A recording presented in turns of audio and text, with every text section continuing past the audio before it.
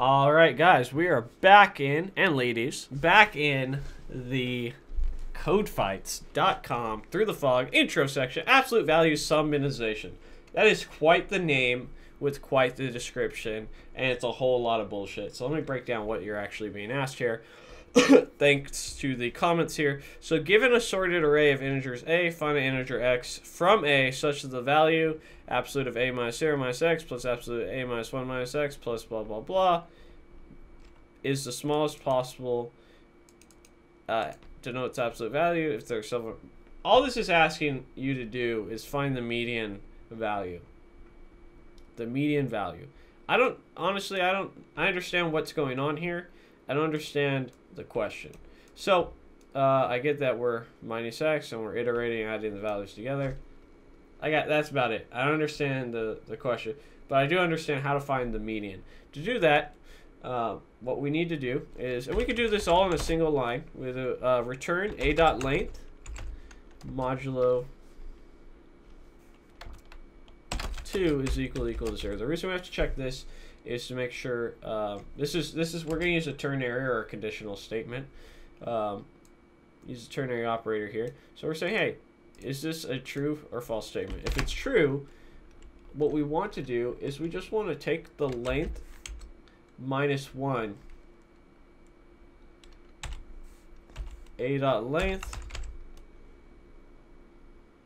divided by 2 minus 1. So there we go here.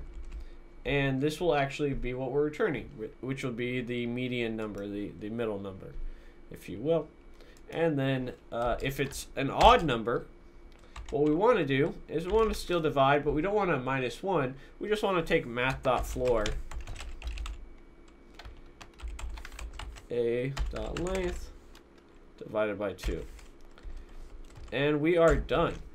The hardest part of this challenge is to basically just figure out what the hell are they actually asking. Um, this is one of the things that I, I particularly despise about computer science is the unnecessary let's try to give as few details or as complicated details as possible um, that's what I really despise about people who who create stuff like this because this is unnecessary. And I think this is probably somebody with a master's degree in computer science that says, "Yeah, that makes sense." Yeah. Uh, so uh, anyhow, maybe a little bit of my own bias shot, shot through there. But as always, guys, thank you so much for watching the video. Don't forget to comment, like, subscribe, and share, and support me at patreon.com slash 360 And if you have a different opinion about it, and you think that maybe I'm just too dumb to understand or I am misinformed and that this is something crucial, let me know in the comments, man. This is a I'm I'm looking to get better, but I, I do think that this is kind of what it's suffering from is hey, do this and it's a very little insight as to what is going on here.